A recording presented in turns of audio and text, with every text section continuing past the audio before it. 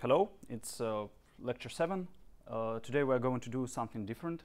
It's going to be unsupervised learning. So in the case where we don't have labeled data, uh, we'll still be able to do something interesting. So we'll cover uh, principal component analysis. It's a dimensionality reduction technique. And then we'll discuss uh, clustering.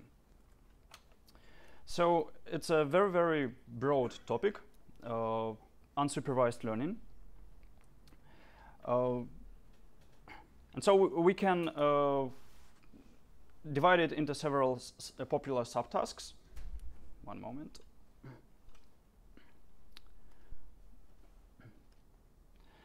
Yeah, so very, very broad area, unsupervised learning. so what's the difference with supervised learning? Uh, in a nutshell, previously we had this uh, instance feature matrix x and a vector y targets. And uh, the difference is simply that we now we don't have this y. We've got only instances and their features. Can we still do something useful? Yep, sure we can. Uh, we already discussed how uh, getting these labels can be really uh, different, really complicated. So it can be just uh, pricely. Yep, it can require some money, or even methodo uh, uh, sorry, methodology even will not allow us to get many nice labels.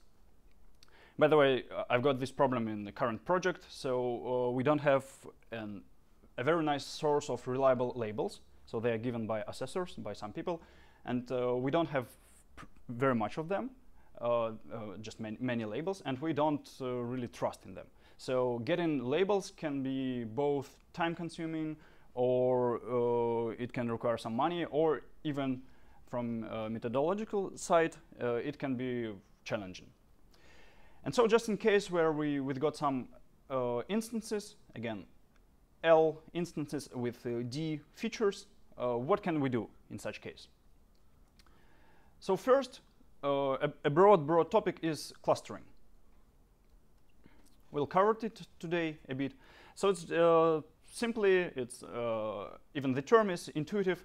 It's grouping objects in some similar subgroups uh, and so thus we can find some structure in our data. Uh, then a broad topic is, is, also dimensionality reduction.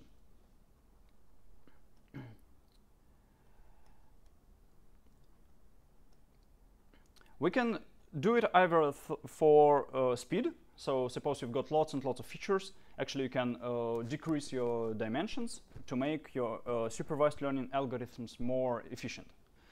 Uh, but we can do it on our own just for the sake of, let's say, visualization. So if you think about it, visualization is also a dimensionality reduction. So we need to somehow find a nice mapping from these d dimensions onto uh, space, either 2D subspace or 3D subspace, but still it's a dimensionality reduction. Uh, and we don't have labels here, so nobody tells us whether visualization is good or not. So we just need to find this mapping from d dimensions to two or rarely three dimensions. And also here we'll cover in detail uh, one popular technique, uh, PCA, principal component analysis.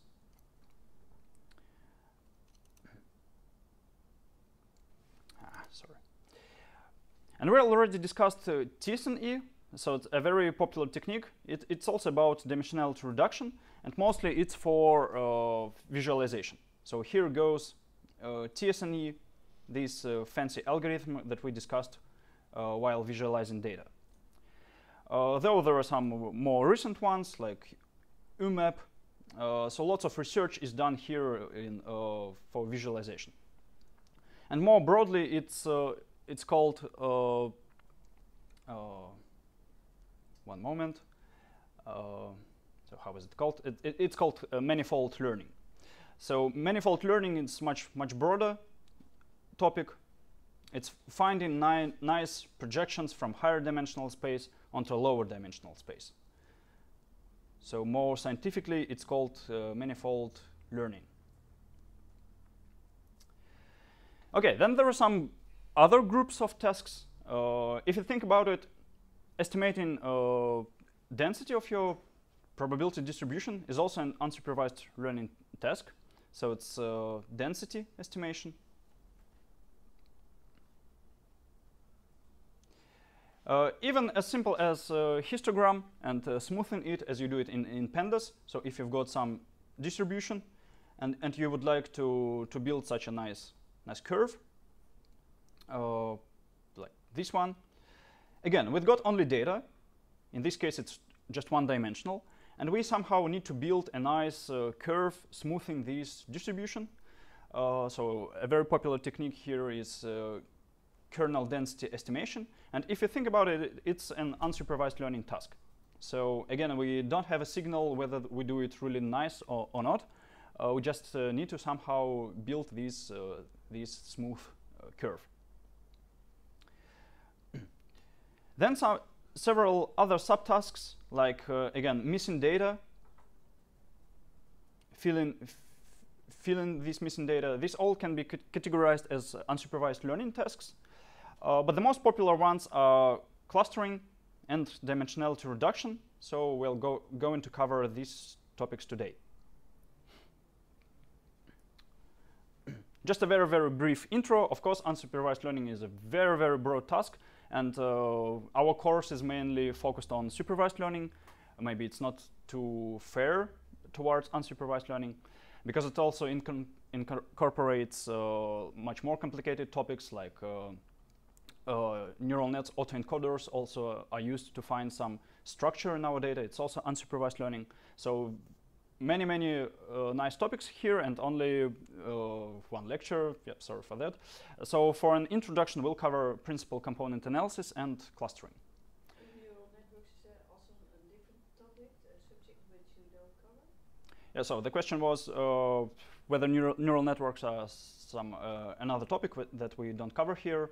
Yeah, the, the answer is uh, yeah, this is a basic course in machine learning, so a, a neural network course will require some more 10 or 12 weeks. Uh, so yeah, we're not diving into it right now. okay, so let's start with the main idea of principal component analysis.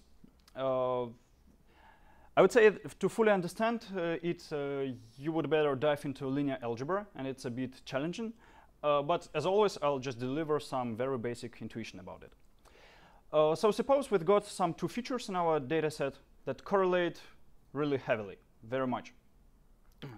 Uh, so this can be occasional, like just some correlation on our data set. And we know some very nice examples of, of mysterious correlations. Uh, different sites are devoted just for finding mysterious correlations in data. So your two, two of your features, this would be x1 and x2, two of your features in your dataset can correlate just by chance. Even up to a really high correlation, 90% uh, or more. The question is, if these features correlate so, so much, do we need both of them? Is it really necessary to keep both of these features? The idea is that we ins that instead of these two features, we can introduce maybe another one, uh, like like this one, some feature z, and uh, we'll just drop the initial two features and we'll keep only one feature z. And so that's why we'll uh, uh, reduce our dimension dimensionality in our dataset from two features to only one. And so to describe again our uh, instance and feature metrics, we've got a matrix big X, and its dimensions uh, are L, uh, L points here and uh, two dimensions.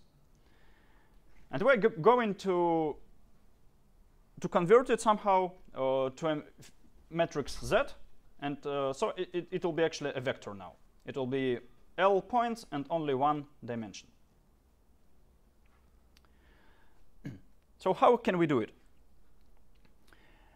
The idea of principal component analysis is uh, to find these uh, dimensions uh, to preserve the most information in our initial dataset. So if we reduce dimensions, anyway, it will be a lossy transformation. And let's figure out what, what we lose here. So suppose uh, we picked a very nice so intuitively we understand that maybe it's a nice dimension z. Uh, so if we project all the points here, so let's say it's one of the points in our initial data set, and with this procedure we'll project it on this uh, uh, direction z.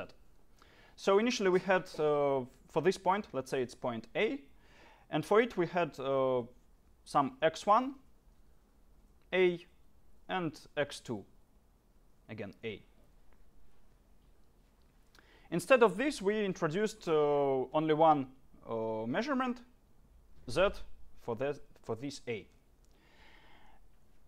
And so what we lose here, we'll, uh, so we'll project, we'll do a projection on this uh, z. Uh, so in some sense, we, uh, we keep the information along this direction z.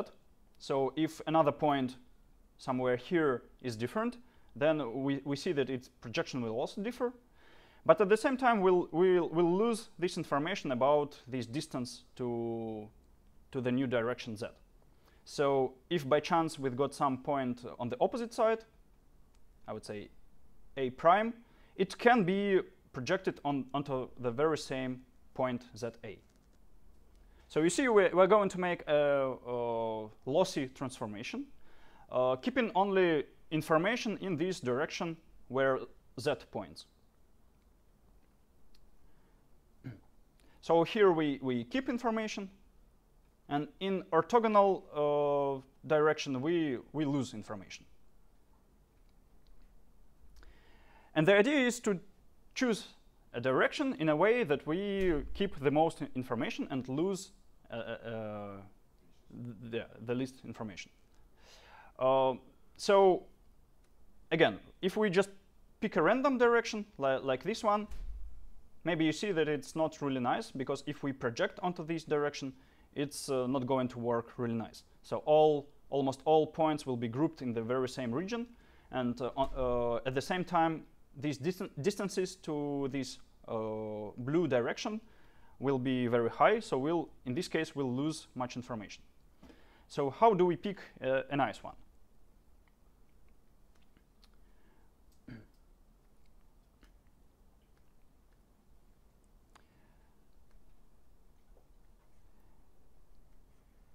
So there are several uh, alternative formulations of this problem. Uh, so again, this uh, cloud of points.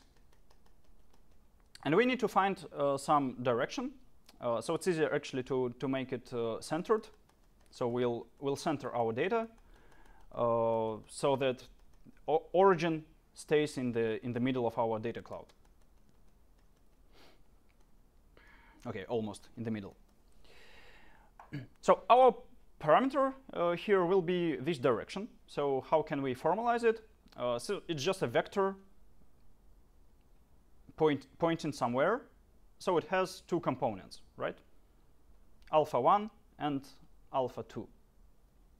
This will be vector u, and we are going to find an, a nice one so that uh, we keep uh, most information and lose the least information. So u can be anything. So we'll, we'll tune this alpha 1 and alpha 2. Uh, and the, these actually define this vector u. And uh, it's going to, to point somewhere, and we project data on, onto this uh, direction, right? As we did it for, for that z-axis. OK, so if we project it onto this uh, direction, we'll have some variance in our data with regards to this direction. Yep, so if we project all the points here, we can measure variance of all these uh, projection. So of all these measurements uh, on this direction u, right? So it's uh, maximizing this variance as projected on uh, u, or at the same time it, it occurs turns out that it's uh, just the very same task as minimizing these projection losses. Uh, losses, sorry. Yep. So if we have a point and project it onto U, uh, this uh, we are going to lose it, and we'd like to minimize all the squared sums of all these uh, uh, rows. Yep, so all, of all these distances, what, what we actually lose. So again, with, with squares, we can sum them for all points, and we are going to minimize this. Okay, so this is going to be minimized. It turns out that these uh, uh, tasks are just the same, and they lead to the very same uh, mathematical procedure. It turns out that this can be solved analytically. We, we can do it uh, with some iterative uh, procedure, but it turns out that SVD, singular value decomposition, that I'm going to cover right now, serves ex exactly for this. so uh, singular value decomposition, it's some uh, complicated linear algebra operation, but again, uh, just some intuition about it. Uh, singular value decomposition. It tells you that any matrix uh, can be decomposed into factoriza factorization of uh, three other ones. U, sigma, uh, and V. Typically, it's called V, v transposed. Uh, in linear algebra, uh, matrix, matrices can uh, geometrically be interpreted as operators. And uh, this tells us that uh, any operator can be decomposed into three operations, other ones, rotation, stretching, and again a rotation.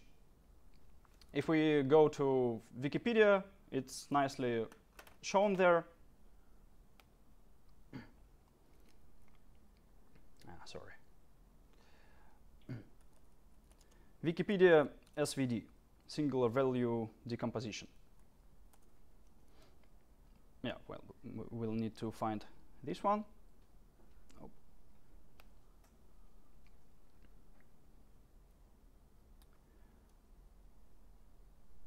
Okay, so it, tells that uh, any uh, linear operator uh, can be treated as three operations. So, uh, ah, sorry, it's all jumping.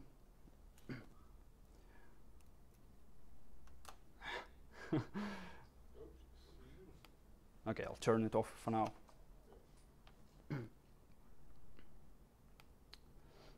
okay, so uh, any any uh, operator can be interpreted as uh, uh, rotation, then stretching, and then one, one more rotation. Yep, so, for instance, if we have an ellipse,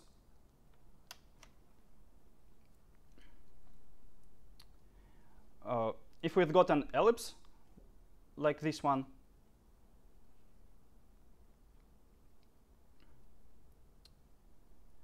uh, x might, might represent some transformation from uh, a unit circle into this ellipse. So we can have a unit circle, and x as a matrix would uh, would actually uh, define the transformation from uh, any point on this unit circle to this ellipse. So this will be given by x. Okay, much more details are needed to actually understand why this geometric transformation can be given by a just a matrix. Uh, but uh, singular value decomposition tells us that this transformation is decomposed uh, into a rotation. So this U is a orthogonal matrix, uh, uh, Uh, uh, which stands for just rotation. This sigma is going to be a diagonal matrix. And it's going to be just stretching. And this V is again orth uh, orthogonal, and it's again a rotation.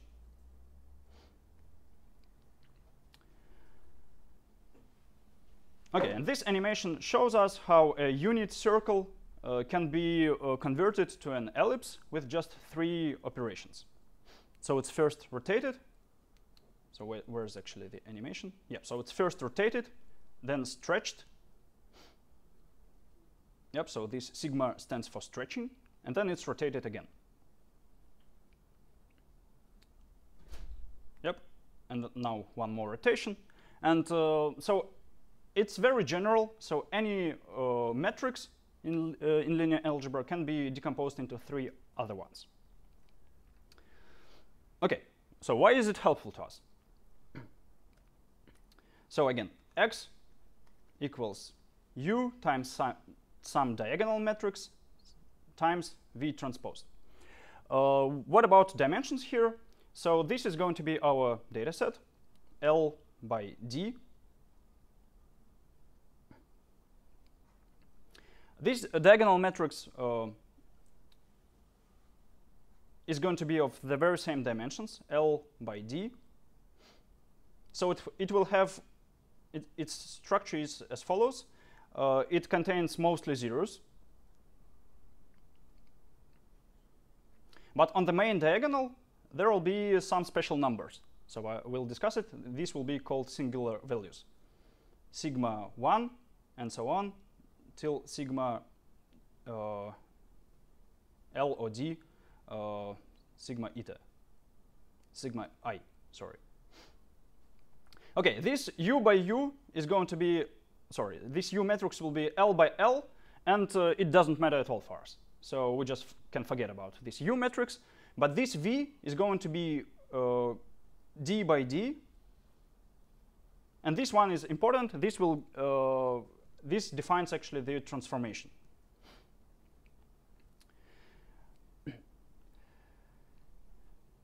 And this, uh, this diagonal matrix, uh, sigma, will have these uh, small numbers sigmas, and these are going to be responsible to the information uh, uh, which is going to be lost or preserved. Okay, let me uh, describe it with a two-dimensional case. So again, our data cloud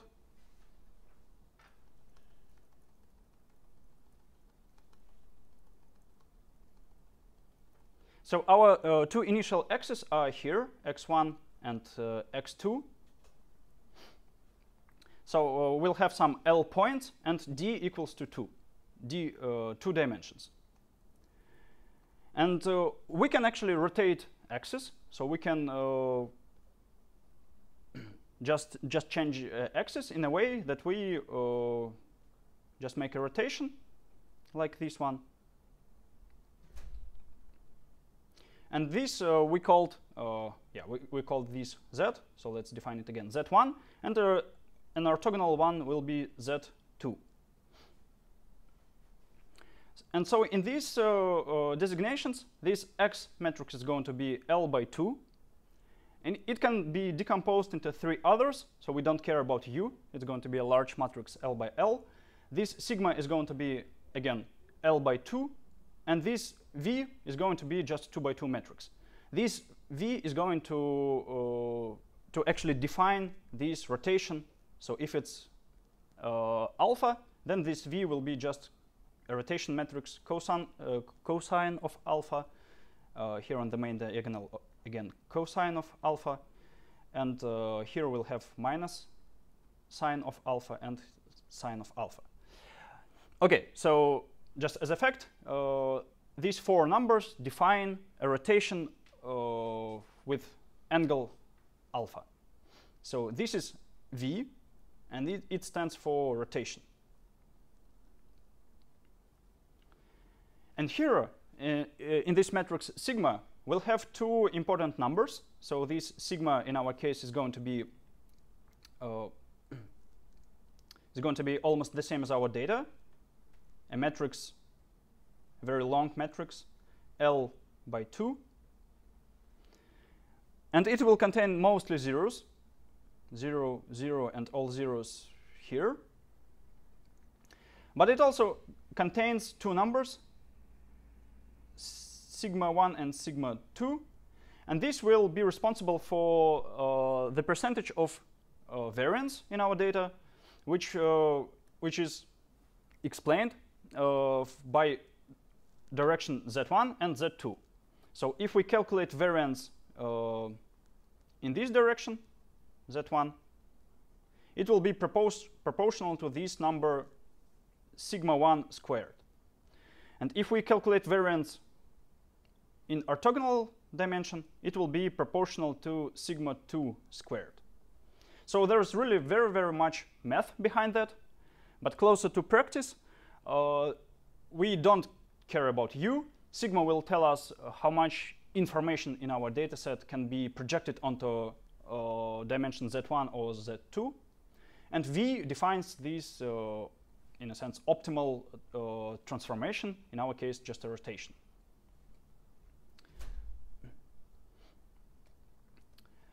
Let's just generalize it a bit from, from 2D, let's go to 3D.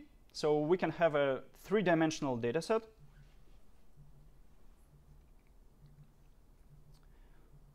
x1, x2, x3. And uh, imagine that uh, all these points are somewhat are distributed close to some plane. So I can draw a plane. Maybe it's either even easier to imagine it uh, in real life. So we're in a room. So suppose some plane, maybe from one circle to from one corner, sorry, to another one, and all points are actually distributed very, very close to this plane. So maybe we don't need two features in this, uh, sorry, three features in this dataset. Maybe we can only come up uh, with two features and we'll, we will won't lose too much information. So here we can define two vectors, u and v. So they're going to lay in this plane. And uh, the third one, let's call again it now w. Uh, so uh, SVD will again define this transformation, uh, again rotation of our axis to new ones, u, v, and w. So we'll have x, which is our data set. It's going to be L by 3. It can be decomposed into U, which is L by L, and we don't care about. Uh, sigma is going to be the same L by 3, and V is going to be a 3 by 3 matrix. So V, again, defines this transformation from original axis uh, x to u, v, and w. And uh, here in lambda, we, we have oh, sorry, in, in sigma, here we have these three, three sigma 1, sigma 2, and sigma 3. They, they will tell us how much variance is kept if we project on u or v or w. So this is SVD. And now comes actually dimensionality reduction. It will be truncated SVD. And it's very simple. It's just doing SVD and uh, throwing away some information. So truncated SVD is based on this decomposition, but we'll keep only, in, in our case, only two uh, dimensions. Uh, that will, will mean that we will get x reduced. Uh, now we'll go from 3D to 2D. So this x, x reduced will be L by 2.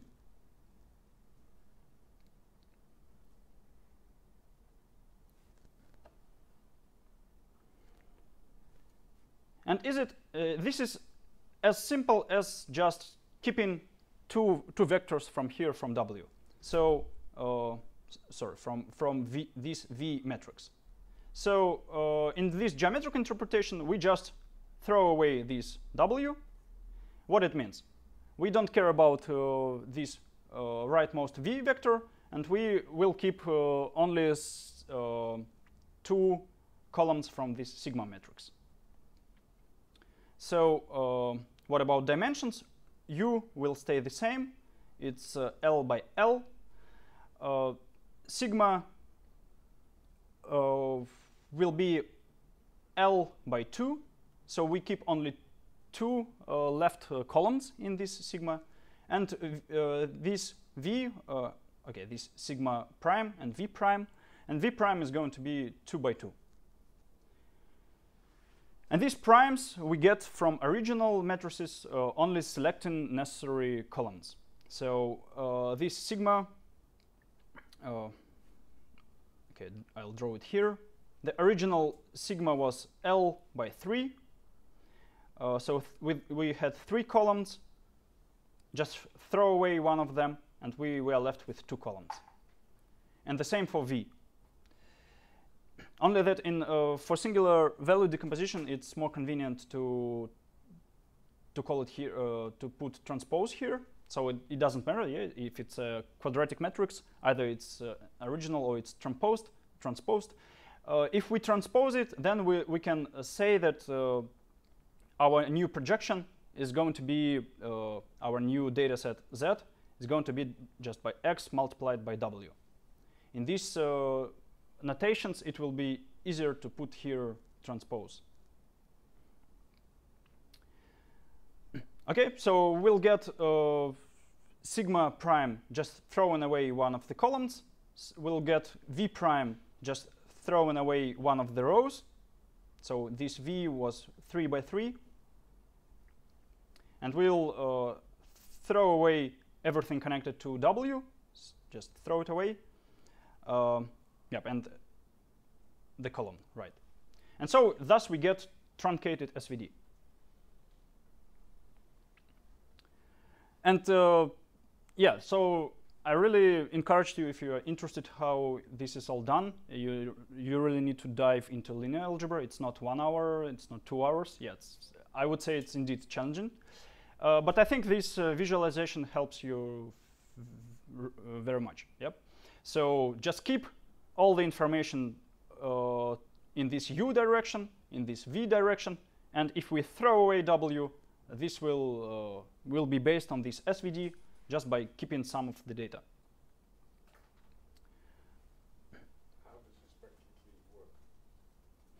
Yeah, so the question was how it actually works, so I'll show some practical examples. And now just to generalize it a bit more, so suppose you've got d dimensions. We can't visualize it now. So we've got x1, x blah, blah, blah, xd minus 1, and x, xd. And uh, suppose your data is distributed uh, under uh, uh, near some subspace of this original space. So maybe we've got some k-dimensional space. And what if our data can be nicely projected to this key uh, dimensional k-dimensional subspace? So this will be uh, the, the idea of principal component analysis. Uh, so we can lose uh, many dimensions without actually losing too much of information. One of our motivating examples is uh, images. So I'll show you an example with image classification. Uh, again, neural networks are, is the best approach here, but I'll cover just some basics. But uh, a very nice application of PCA will be uh, images because they're very, very high dimensional. And it turns out that we can reduce dimensions very effectively. So uh, the simplest way to get some features from an image is uh, the following one. So uh, an image is just a matrix. The computer sees an image as, uh, uh, if it's let's, the simplest case, grayscale image. Then there is a mapping between um, all matrices uh, to images. So these are going to be pixels, and uh, in each pixel we'll have some number from 0 to 255. Uh, and this uh, 255 will uh, depict uh, white, and these zeros will depict Yep, th this will depict black. And something in the middle will be different shades of gray. Yep, 17 maybe, or 122 are going to be some, somewhat in between. Yep, all the gray colors. So uh, really very, very boring how computer sees the world. Uh, the only difference with uh, uh, colored images is, is, that we'll have three matrices just like this one, only that we'll have a special matrix for red colors, special for greens, and special for blues. And it will be a bit more complicated. So this will be a tensor, so an uh, a three-dimensional array, and uh, it will have three matrices like these standing side by side. But we'll uh, focus on grayscale images. So the simplest way to get features from it is just to, to make a long, long vector. So let's designate it by d, uh, not very nice, uh, n. So an image is going to be n by n. Again, for simplicity, let it be squared. And we just create an, a, a very, very long vector, keep the first row here, all the pixels in the first row, place them here, then the second row, and so on and so on. And so uh, we'll have an, a vector of length n squared. This is really the simplest way to get features from an image. It turns out that we don't need all of the, these n squared uh, numbers because uh, you know if you if we take a real image like uh, 12 megapixels, maybe it's 3k pixels here and 4k pixels here, then these vectors are going to be re really very very long, 12, 12 million digits. Turns out that we don't need all of them. We can efficiently uh, redu reduce dimensions, keeping only these principal components, uh, and we actually don't lose too much information. Okay, so some examples of principal component analysis. In a nutshell, what I told about, uh, the, the algorithm is going to be the, following. So uh, we have, uh, okay, here it was designated as n, uh, the uh, initial dimensions, and we are going to define some k uh, to actually reduce dimensions. So k is going to be lower than n, so preferably it's going to be much, much sl slower than, than n. I'll change it on the go. I defined it as d, the, the number of initial dimensions. Then we'll scale x uh, so we're going to shift its uh, centroid in the origin. Uh, so it's just what in sklearn what standard scaler is doing. It's not actually necessary to norm variance here, but uh, for simplicity it's uh, typically done. So just using standard scaler, we change origin, change the center of our data cloud to be in the origin. Then we do singular value decomposition, and it's a very, very well-known operation. Uh, it's purely linear algebra, but implementations are as old as from the middle of the 18th century, so starting from Fortran, BLAS, LAPACK, all these libraries. Okay, they are very, very efficient. And then we take k leftmost uh, columns of V. Uh, so we uh, decrease dimensions, and we got our new matrix Z, which is going to be x multiplied by this v. Okay, an example, finally. In sklearn, PCA lives here in sklearn decomposition. So the first application will be just visualizing data. Even with uh, the iris dataset, we've got four dimensions, and we can't visualize it. With PCA, we can find two principal components and uh, project our data to these components. So then we'll visualize our data uh, on, on a 2D space. So we define PCA, and we fit our data, just as simple as this.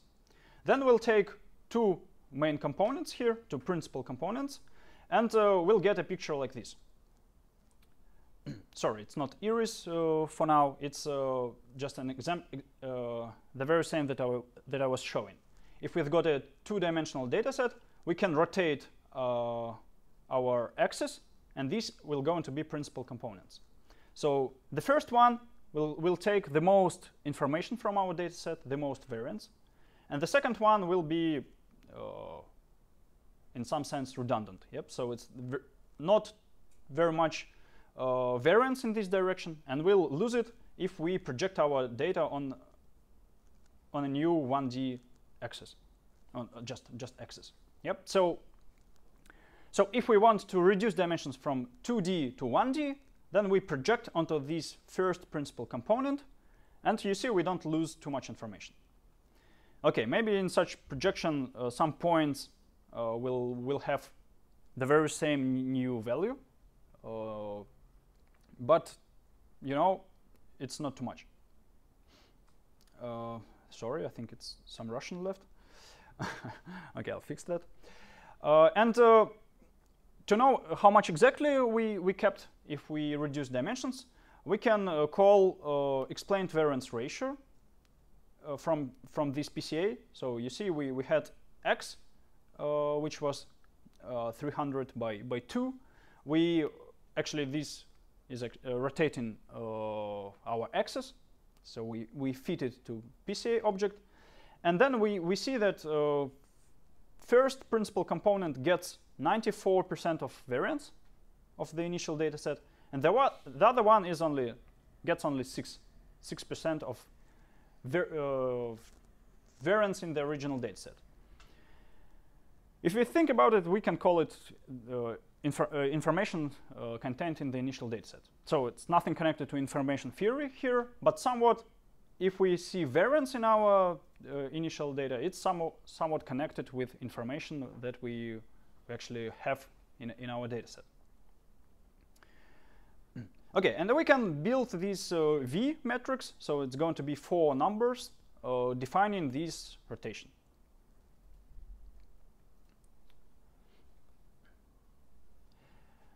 Now visualizing uh, iris dataset. So we, we load iris, and uh, uh, these are 150 flowers, so 150 instances, and they have four features. Uh, and iris has sepal and a petal, and a sepal length, sepal width, and the same for petal uh, width and length. Okay, four features, and we can't visualize the dataset in four dimensions. Uh, so we we tell PCA that we are going to keep only two components, and components equals two. Then we fit it to our data, and uh, fitting and tra transforming can be done with a single operation. So fit transform will uh, will actually fit PCA and, and transform our data x and return this x reduced.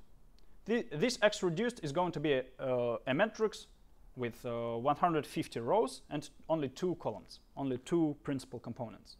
Now we can draw this fine, uh, nice picture. Uh, so this is our dataset. If it's projected onto, uh, onto some, some two-dimensional plane. These axes are not interpreted, so just the first component and the second component we can actually print them. So the first component is some linear combination of in initial features. And another component is also a linear combination of uh, initial features. So for you to, to understand, principal component analysis builds a linear transformation of initial features. It's uh, also one of its limitations. So if you're going to apply it to some data where you've got interpretable features like uh, salary, number of children, uh, I don't know, some score in, in a survey, you're not, maybe you're not going to apply PCA here because it's going to build a linear combination of these features. Some number multiplied by age plus some number multiplied by salary. Maybe you're not going to, to build such a feature because it's not really interpretable. Okay, but still it's a nice picture. It's uh, some visualization of the iris dataset. Uh, we can take a look how much information uh, we've got if we project data onto these two components. Okay, I didn't do it here, but it's uh, something more than 90%. Uh, and it somewhat, somehow it shows us the, the, picture. It says that one of the classes is uh, linearly separable, so it's really very easy to distinguish one of these species. Yep, so the original task is uh, three class classification, so uh, three types of irises. And we see that uh, it's, uh, it's an easy task. Yeah, so we can distinguish one of these species very easily. And uh, others are they just a bit mixing here, intermingling, but still it's, we see that it's, it delivers some intuition about the dataset. The same for handwritten digits.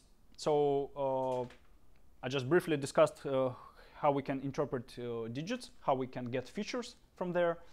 In sklearn's simplified version, we've got handwritten digits, uh, 8 by 8, so they are really of low resolution. And if you uh, extract features uh, from there, you'll get 64 dimensional vectors. Yep. So 8 by 8 becomes a 64 dimensional vector.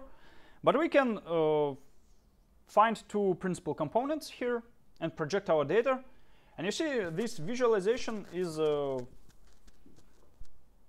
not, I would say it's not useless. Yeah, It delivers some intuition about the dataset. So just think about it. It's a projection from 64 dimensions onto a, a, plane.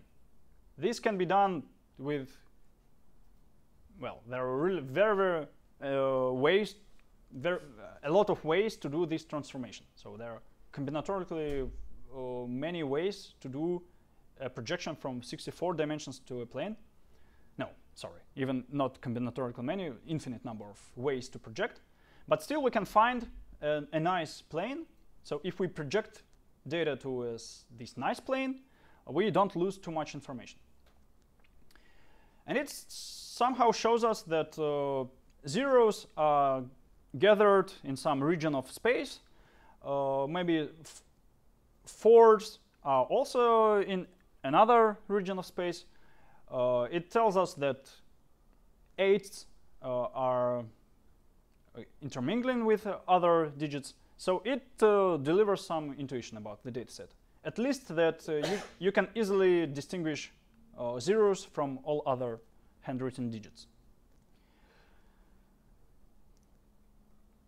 And we can actually visualize these two principal components. So uh, principal components are going to be linear combinations of initial features. So these are also going to be vectors of size 64. And we can uh, actually get uh, images from this vector. So if we reshape it back to 8 by 8, we'll get an image. So this tells us that we can visualize these principal components. And uh, if you do so, you see that uh, maybe this one looks like a, like a handwritten 3 if you look at white. Uh, maybe if you look at black colors, it's going to be something similar to 4.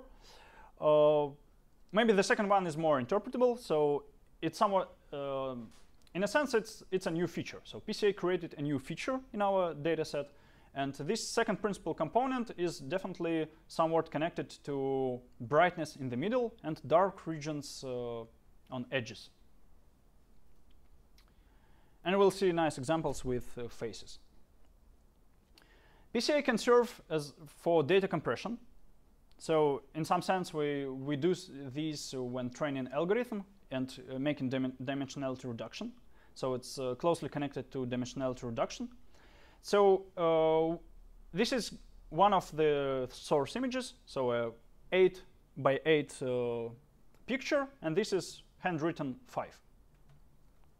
And if we do principal component analysis and uh, keep different number of features.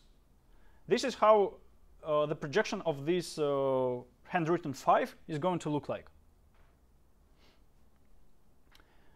I'll make a short comment on this uh, picture, so maybe you don't uh, get the idea how these projections are, are built. So again, this uh, original 64 dimensional space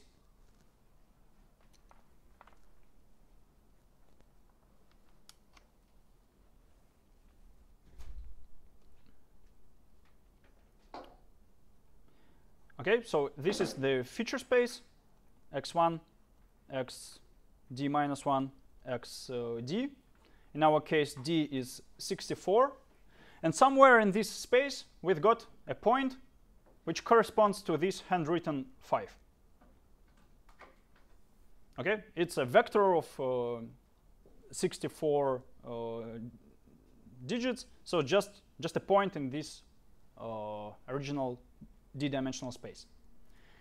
And if we do PCA, uh, keeping only one uh, axis, so we are looking for the best direction here to uh, to actually to project our data on.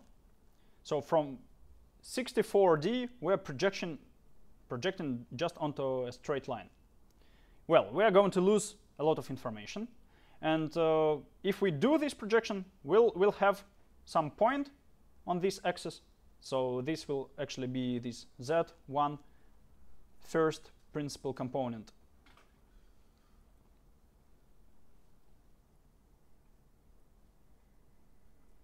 Yep, but if you think about it, this point is at the same time, it's uh, still a point in this uh, original uh, feature space.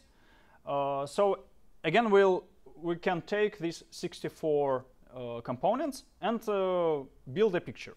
So if this was point A, then this projection is A prime. we can focus only on this z-axis, and then we'll, we'll have just one number. But at the same time, uh, this z-axis still lives in this original feature space. And we can take a look at these, all these 64 numbers uh, corresponding to A prime. Yep. So this is going to be x1 prime, xd prime. Okay, so again, we can find a 64 dimensional vector corresponding to this. And so we can reshape it back to 8 by 8 uh, picture, and this is going to be some projection for this uh, handwritten 5. And again, the very same picture if we take a look at more dimensions. So this again is a 60, 64 dimensional space. Now we'll find a 2D subspace. And uh, this handwritten 5 will be projected onto this 2D space. But still, we can draw actually this, this point corresponding to the projection. And that's uh, what is going to appear. So if we project only on the first component, uh, well, we lose too much information. We don't, maybe we even don't recognize handwritten 5 here. But if we increase the number of dimensions, this projection is looking more and more similar to the original handwritten 5. And so we can do it up to 64, so this is the original image. Now maybe the crucial question, how many components to choose? Uh, and so typically there is just a tradition that you, by default, keep 90% of the variance in your dataset. Just a constant like uh, p-value is 5%, just everybody agreed that it's 5%. Uh, so here, by the same token, uh, you just keep 90% of variance in your dataset.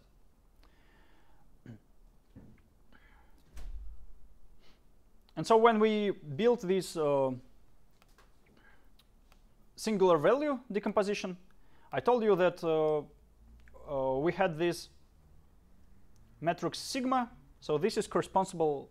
Uh, uh, sorry, uh, this is responsible for this percentage of information that we get. So we had this decomposition, and this sigma looked like this. So almost all are zeros, but here we had sigma 1, sigma 2, and so on, up to sigma d. And so actually squares of these numbers sum up to 1, sigma 1 squared plus sigma 2 squared, and so on, plus sigma d squared. This is going to be 1. And these uh, these sigmas stands, uh, stand for this explained variance. Uh, in, uh, so if we keep only one uh, dimension, then this will, will stand for the percentage of data retained. So this might be something like 0.7. So 70% of, of all uh, the information in our dataset can be retained if we project it onto 1D. If we keep two dimensions, so maybe we'll have some more. So this sigma 2 squared might be something like 0.15. And so altogether, this will explain 85% of our dataset, and so on and so on. Other components are less and less important, and so we'll just put a threshold, keeping uh, keeping so many components that this sums up to 0.9 to retain 90% of uh, the initial variance. So in, in sklearn, it's uh, implemented in this explained variance ratio. So it's going to be just a vector, of, and uh, we can build such a plot. So uh, x-axis is the number of principal components that we uh, find in our dataset. So it's it's less than 64. So 64 is our original dimensions. And uh, if we plot the running sum of these uh, sigmas, this will be explained variance ratio. So you see, if we keep 10 principal components in our dataset, uh, this will explain about 70% of variance of the initial dataset. And so just typically you put a threshold here on 90%, uh, and it, it will say, say that uh, you need 21 component to, to keep 90% of variance of the initial dataset.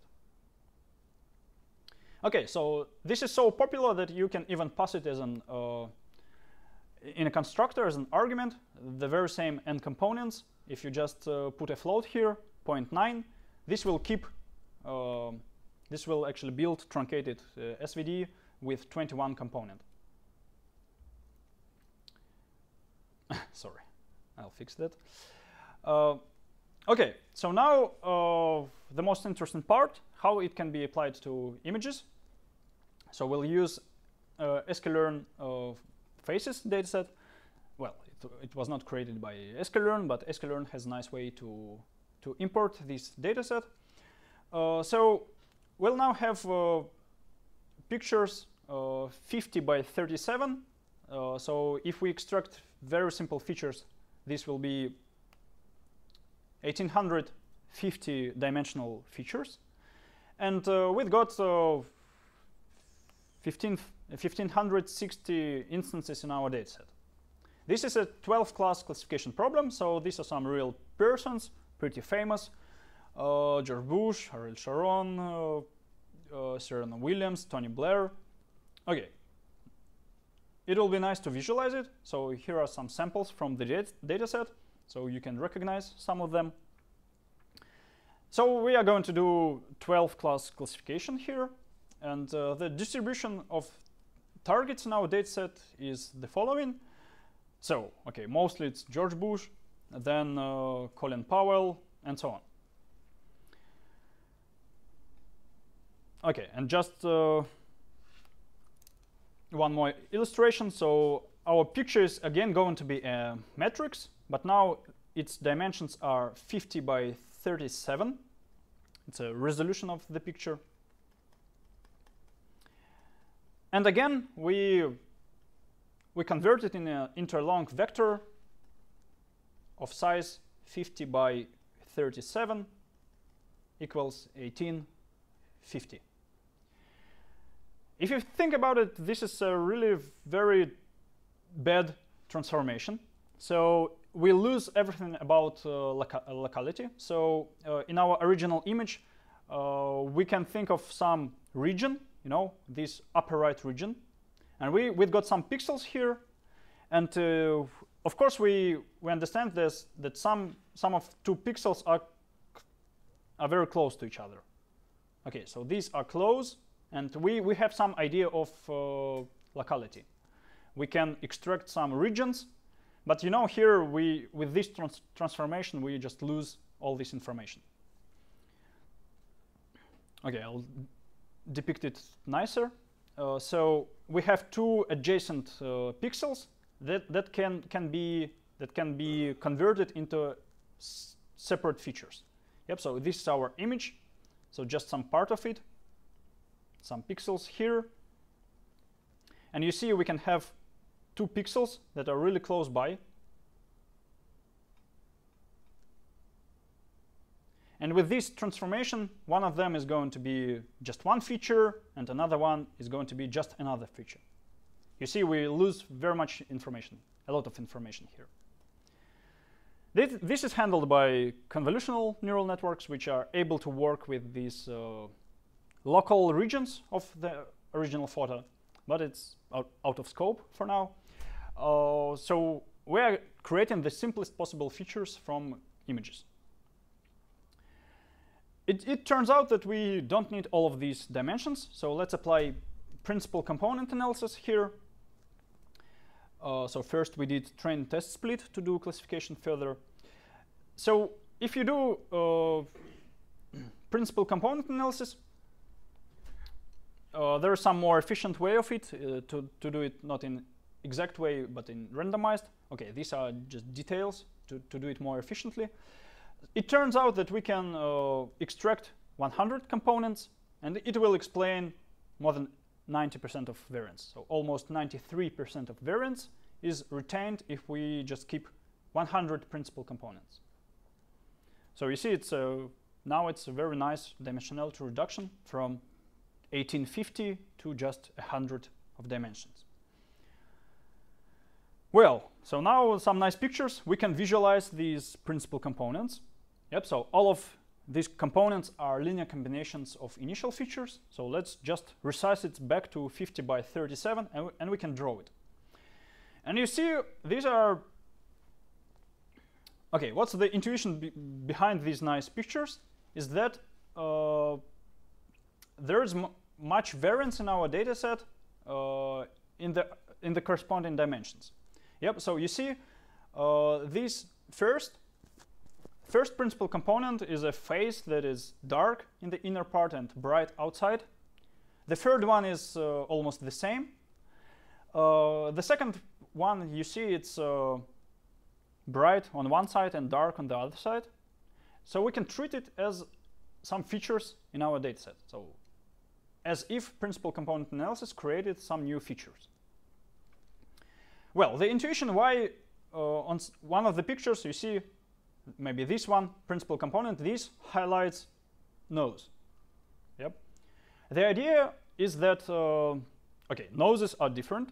So uh, there is maybe some sort of a direction in this feature space which, is, which corresponds to a nose.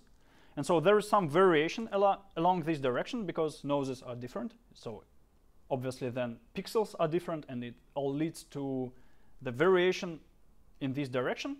And so uh, if we keep this component, then we'll retain this information.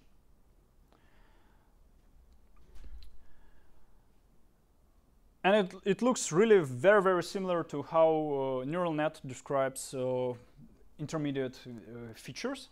So if you visualize what's going on in the layers inside a convolutional neural net, it's going to be some, something really very similar to what we see here. Only that uh, this is a linear transformation, so PCA only builds linear uh, combinations of initial features, and neural net will do nonlinear transformations, therefore more capacity. Okay, we can even just for fun build a mean phase. If you calculate mean of all these uh, principal components, you'll, you'll have something similar to, to this. Okay, definitely George Bush dominates here. Um, okay, and now we've uh, reduced dimensions, and we can now classify faster, you see? So we'll build just a multinomial logistic regression, which is a softmax classifier, uh, but we'll,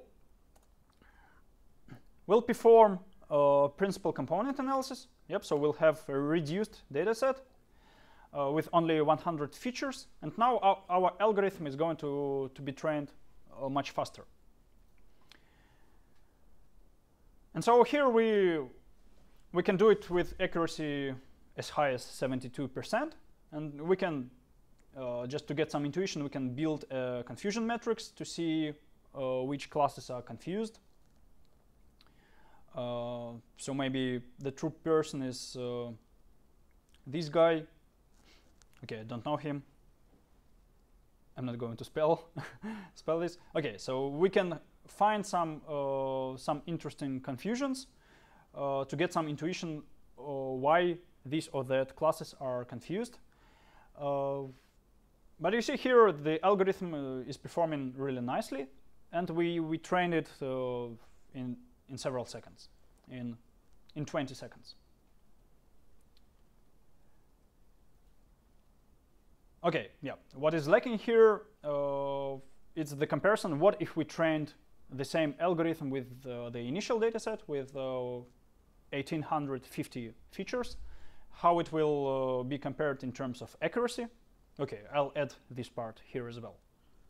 But it turns out that uh, with original features, it's going to be, it's going to to to train much longer. You see, uh, 1850 features instead of just 100.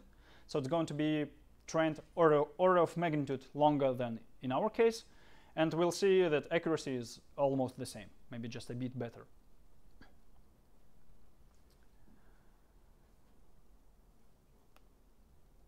Okay, let's make a small break and then clustering.